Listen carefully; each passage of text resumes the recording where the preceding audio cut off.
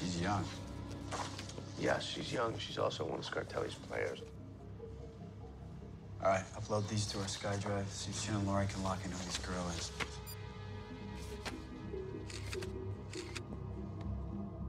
I do not think that these were taken by a second father. Yeah, well, maybe a real father or a boyfriend found out what was going on off the court between these two. Yeah, that's a good point. Because if I found out somebody taking pictures of Grace like this, I'd go to their house and I'd kill them. Yeah, me too.